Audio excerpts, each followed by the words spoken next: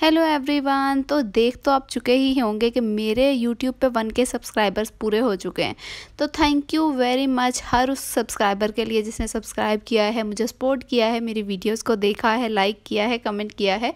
और मुझे ग्रो होने में सपोर्ट की है। तो ये वीडियो दो तीन दिन पहले की है, लेकिन कुछ बिज़ी होने की वजह से मैं व्लॉग एडिट नहीं कर पाई थी।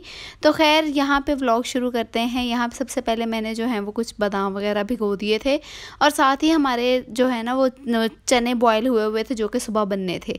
तो जब भी चने बॉयल होते हैं, मुझे बहुत मज़ा आता है इनके ऊपर चाट मसाला डाल के खाने में और मैं हमेशा खाती हूँ, बड़े मज़ेदार लगते हैं।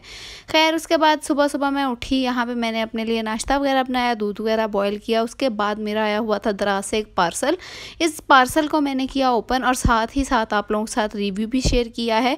इसकी जो है वो एक अलग से वीडियो भी मैंने अपलोड की हुई है और अगर आपको इसका लिंक चाहिए तो वो आपको मेरे इंस्टाग्राम की हाईलाइट्स में मिल जाएगा।